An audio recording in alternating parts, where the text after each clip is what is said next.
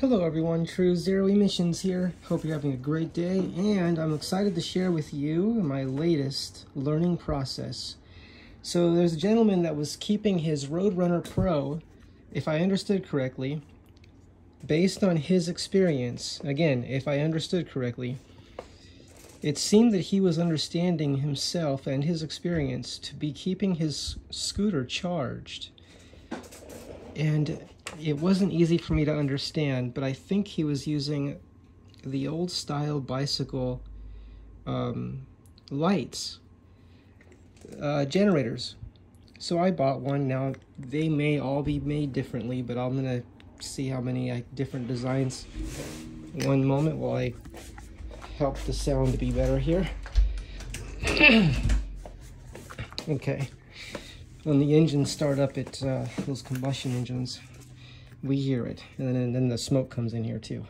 The unburnt fuel. We don't want that. Going back to the clean energy here. That's right. Even if 100% of the electricity comes from coal to power your electric car, it still pollutes one half as much as driving a gas car. And that's just on the processing of the fuel and the burning of the fuel. Okay, so on this uh, little generator here, which is a light, it's I'll call it a light generator, right? This is a Bell. This is a B-E-L-L design, if I understand correctly, if I recall correctly. And it was quite interesting to learn the way this is made. Look how different this is. I haven't seen a generator like this before.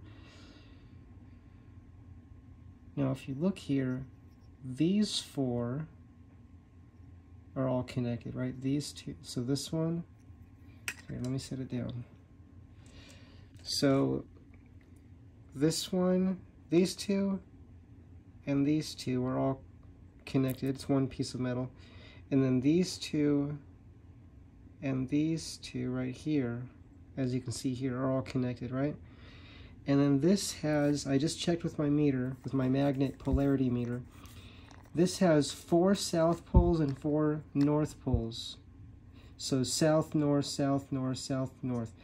Now, what does that mean here? It means that, let's look at that. I think what it means is all of the norths will be hitting this same bar, and all the souths will be hitting the other bar, and then it'll switch. All the norths will be hitting the other bar, and all the souths will be hitting the other piece of metal at the same time. This is this is significant. This is very big. What is the magnet doing? How is it interacting with the metal? These this metal could be metal or it can be coils. In this instance, it's the metal and then the metal is transmitting that polarity to this coil, right? And then let's look how the coil's wired. One end of the coil goes to this. It just had the one wire, right? Now this is 6 volts at 3 watts, but I was spinning it connected to the wheel of the scooter, and it was giving me, uh, I was up to 30 volts. And that's because I was probably spinning it faster than it's, than, uh, I don't know, faster than it's, than the test originally was done with, where were getting 6 volts. Maybe 6 volts is when you just turn it real slow. Um, so, I'm really excited about this. I'm really excited about this. And I'll tell you something. The guy, the gentleman is on the, uh, if you want to locate what he's, what he's doing, he's on the, the new, I don't know the exact name of the, of the group, but it's like the new Roadrunner Pro group.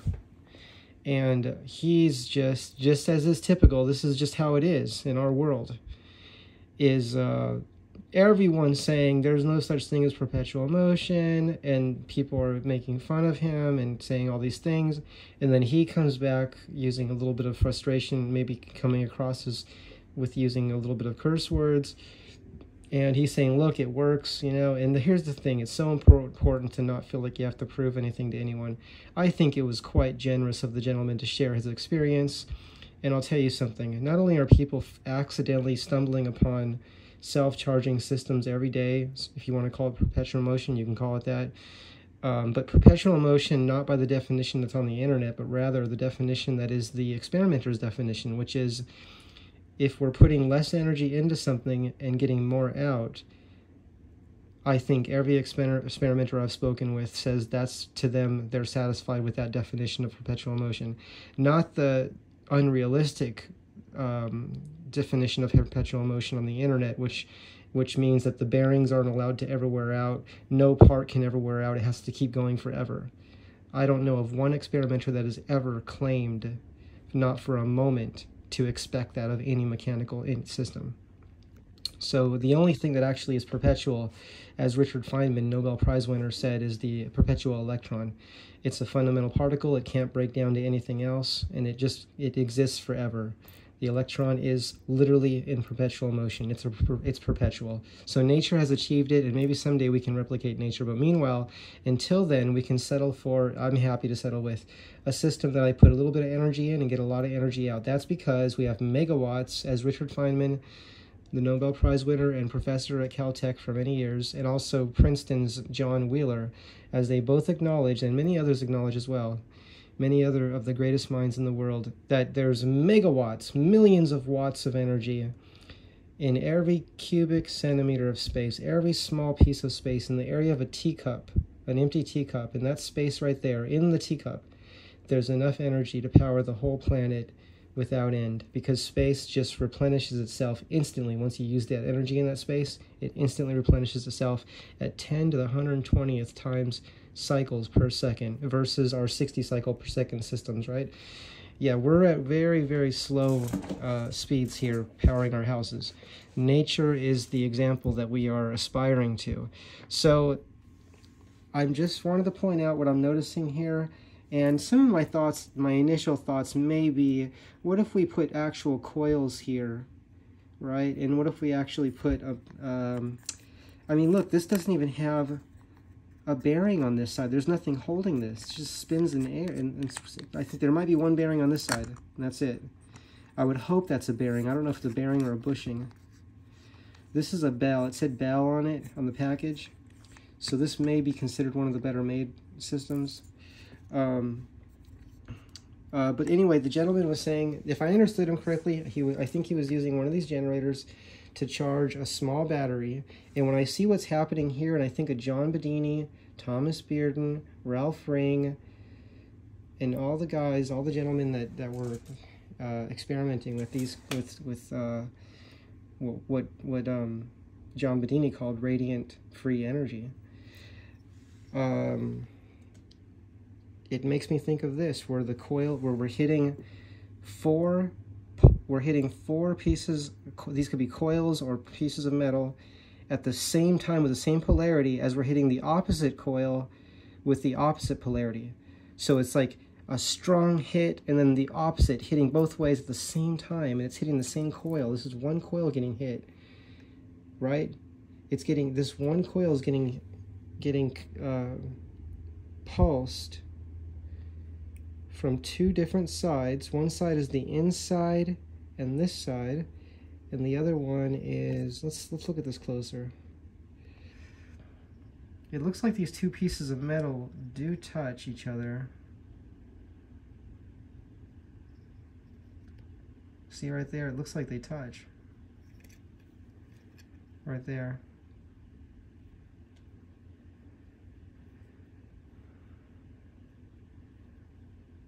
So what seems to be important is that it's not that they're isolated from one another, possibly, right? I mean, isolating them may make it more effective, maybe it make it more powerful, but is that we have we're pulsing the same piece of metal on opposite sides, right? The majority of this piece of metal. So this piece of metal, this piece of metal on all four sides, right? All four areas is on the outside of this coil and on this side. The other four pieces of metal that connect together are on the opposite side and the inside. See what's happening? So this one goes top, right? Top and back side. And this side, this piece of metal goes this side and inside. And I think that's what allows that impulse Okay, this I think this is an impulse generator. This may very well be an impulse generator. If that's what it's doing, then it makes sense that it's shaking the electrons loose from the Dirac, D-I-R-A-C, study particle physics, That's what Thomas Bearden said. Said we got to not just study electrodynamics. All those people that are making fun of that gentleman that's sharing his experience, it sounds like they've only studied a very specific perspective, maybe one that's taught in school specifically, very clearly, because I think school does touch on free energy and uh, perpetual motion, not by the uh, internet's definition, but, as, but by the experimenter's definition. I think it's touched on, but it's never necessarily clarified what you're learning. Uh, that's based on my research and study. I could be wrong on that, but I'm trying to I'm trying to give education the benefit of the doubt. I don't think that school is intentionally trying to hide anything from you. It's just that school may take a long time to catch up with all the knowledge and discoveries that we have made. I mean, look, NASA, I don't know if NASA is experimenting with electrogravitics, and we've had electrogravitics since, uh, how long has it been? When did John Searl first start experimenting with electrogravitics? I mean, this is the way we can actually travel to other solar systems and other galaxies and other universes. I mean, we're talking about going to Mars, and how how long does it take to get there with with our rockets? Electrogravitics can go, if I understand correctly, can go 27 to 100 times the speed of light. And now we're talking has a force field around it that protects us, right? And we weigh one half the weight that we weigh now here on Earth. So we can take sharp turns and we don't even feel it, right? No effect on us. And we can't crash in those. If you crash, it just kind of bounces away. As uh, Russell Anderson was explaining an Infinite Energy from the Vacuum. There's a video called, it's on YouTube called Infinite Energy from the Vacuum, if I recall correctly. And Russell Anderson really gets into great, a great introduction and a great description of of uh, the, of John Searl's work and many other uh, efficient energy systems. And he says in that video, you have to ask for this. You have to demand it. He says you have to demand it. And I would call it just asking persistently and and yeah we can call it demand. What is demand? We can we can say we want something. We can say we need this we want it and talk about it. Uh, as long as we keep saying the old dialogues though if we just think oh this is all that we have is all that we'll ever have at the most and that's it then you know if you know if that's if that's satisfying to to a person. Myself i'm interested in what are the boundaries of knowledge that we can explore, right? What's the edge of what we can understand? And then, then what's beyond that? And what's beyond beyond? There's no end to it, really, truly. So uh, that's just my interest, and I've always uh, thought that way since I've began to think. So, uh, I mean, my first thoughts were, what is thought? I'm thinking right now, how interesting is this? What can I do with it? Right? And I'm like one and two years old. So, of course, uh, I was taken to a psychologist and evaluated, and this, luckily the psychologist said, um, you have a very intelligent a young man here, but have you had yourself checked out? and that's to the person bringing me in. So that happened to be the parents. So anyway, going back to the um, this experiment here. I'm happy to share with you what I see here. And the gentleman on, on in the group, and I don't recall his name at the moment, but it won't be hard to find them if you go to the, the Roadrunner group on, on, uh, on Facebook. And it's one of the groups. I don't know exactly the exact name of that particular one, but it's one of the new users groups. But he's talking about using a generator from the bicycle, and I can see how this is significantly different than a regular motor or a regular generator. This is different. I could see how this could work. And it's not about how many amps this is producing. It's the way that it's interacting with the zero point field, virtual particle flux fields, gravity waves, tachyon waves, dark energy, dark matter, whatever you want to call it, right? You can call it whatever you like to call it. But this is interacting with space. And uh, anyone that says you can't get more energy out of something than you put in it is ignoring that there's energy in space, right? I mean, that's just what it looks like to me. Uh, you know, I could be wrong. I, people have to speak for themselves. I'm just telling you that I'm study. I study everything. I study all the different points of view and perspectives, and I don't study people who say you can't do things. I don't study that. I'm interested in what we can do, not what we can't do. If someone says you can't do something, why would I study more about how to learn how to not see.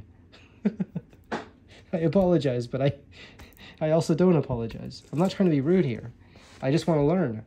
Okay, I have the right to be happy, to pursue happiness. This makes me happy. That's one of my rights. That's one of your rights too. Okay, so this is very interesting. Very interesting. I'm so excited right now. I just love learning. Many people say that if you've learned, you have not failed. You only fail if you haven't learned. Anyone that walks around saying you can't do things, I hear them saying they don't want to learn anything else. Because if you want to learn, read more. Read Don Smith's, uh, Rick Friedrich's book on Don Smith's life work, Magnetic Resonance Energy Crafting Systematic Index. Read all of Thomas Bearden's work. Read all of John Bedini's books. Read John Searl's books. Read, watched John Searl's uh, uh, documentary on the Searl effect generator that we were just talking about. It's a drive system to go faster than the speed of light. Uh, he built 47 of those those ships for people that had people that had the money. So it wasn't commercial. It was just private people that had money and they paid him to build these and they, they funded it. So this was done a long time ago. Where do you think those ships are now? Yeah, they're improved, they're perfected, but they're not public. So I guess we have to build our own ships, which is fine with me. If I I want, I want to make my Dualtron Thunder 2 uh, gravi- gravitate above the ground, I want to do that. So I'm, that's part of the research here. I'm working on it, and I'll share my journey. You'll get there before me, though. I'm like the slowest learner. I learn so slow. So if you just even pay attention to, to if you just pay attention to any of these subjects for like five minutes, you'll probably be at the already be there, and have, I'll be watching your videos tomorrow of your scooter hovering around space.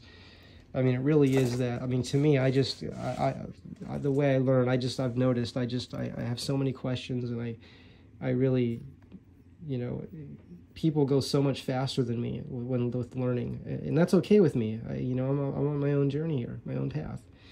Uh, so let's see. Yes, I am thinking about how to improve this, how to vary it. How can I, how can I improve this? Let's see what we have so far. So I'm noticing too that this shaft does not, this is very important, this shaft does not enter into this. Okay, that matches what John Bedini said about, about these kind of systems. You can't have a ferrous metal inside the area of, if I understood him correctly, you don't want the ferrous metal going through certain designs. And I'm guessing that's why they didn't send that, that shaft through here and into a bearing. I'm, I'm just guessing because they could have easily done that, right? But they didn't.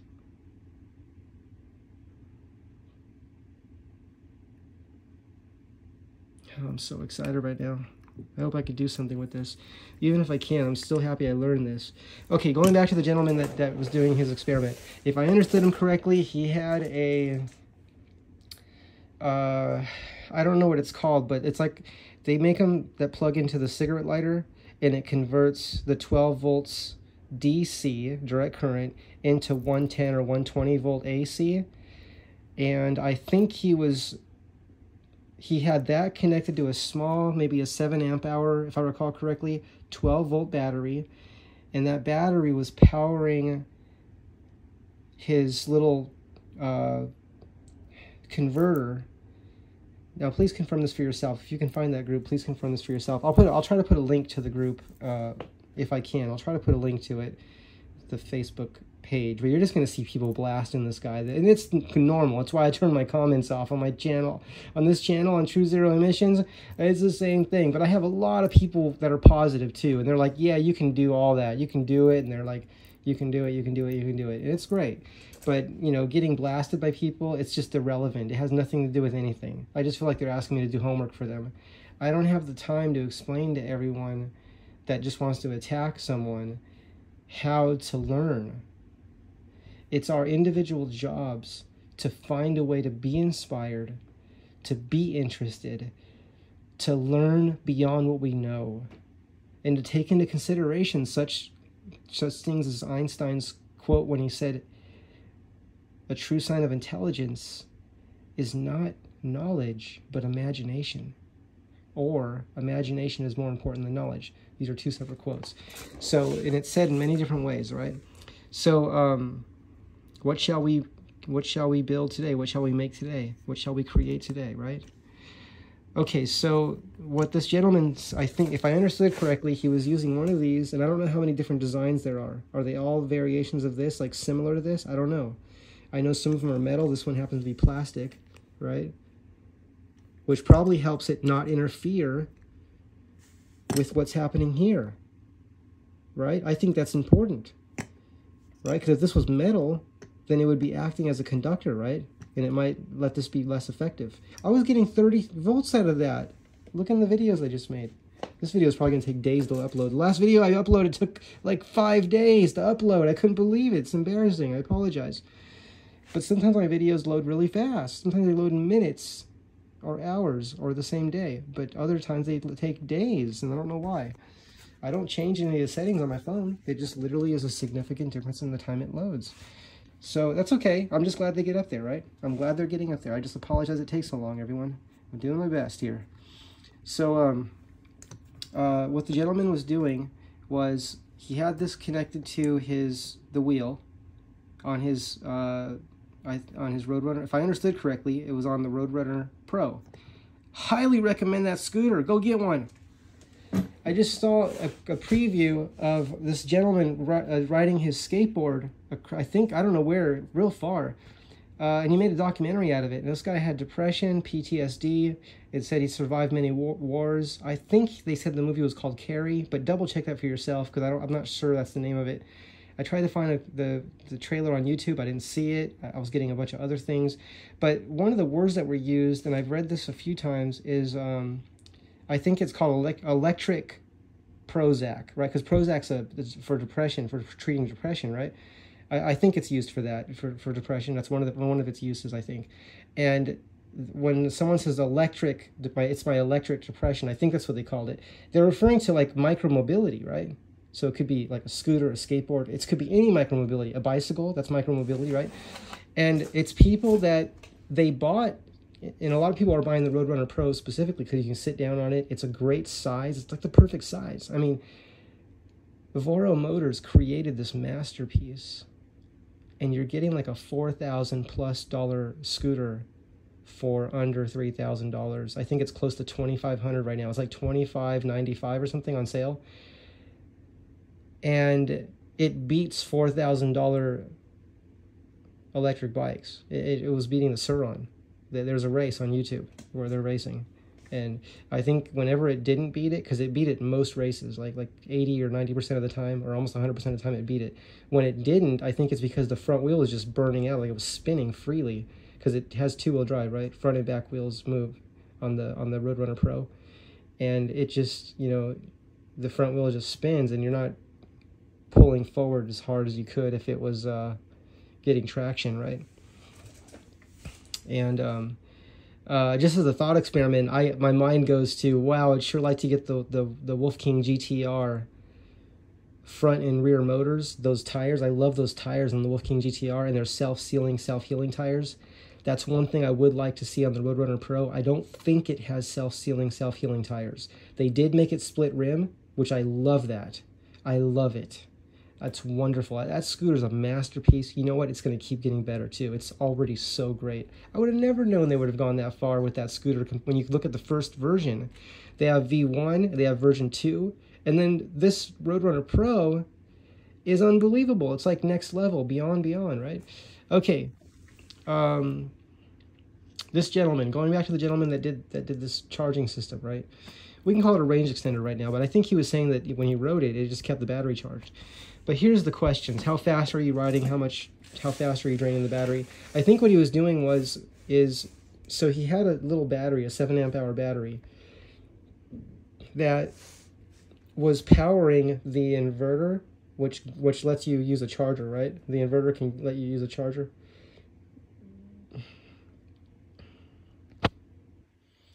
And hang on one second, let me just put this on focus. Oh, I got, okay, I gotta go right now. Um, I apologize, I have to interrupt this video. Okay, so I'm gonna wrap this up real quick. Uh, so the so 7 amp hour battery or just a small 12 volt battery that powers the inverter the inverter which converts 12 volts DC into 120 volts AC right that I think was running a charger that was charging his scooter while he was riding it I think that's the way it was working and then this generator was keeping that little 12 volt battery charged. I think that's the way he was doing it. my research and study indicate that not only is anything possible, not only is anything inevitable, if his system doesn't work when you if you, when you're riding, if it doesn't keep the battery fully charged, it might act as a range extender possibly, which I'm happy with. Um, what else? Also, if it doesn't work, and I believe the gentleman that it does, if he made it work, I, I believe that. I'm open to it. And I'd like to replicate it myself and see what happens. I'll share my results with you guys. I'll share it. But I, I want to explore what he's done. And uh, it'd be great if more people just said, hey, I want to replicate that too. Can I try too? And these are my results. And share people's notes. That's what's important. I challenge everyone to do that.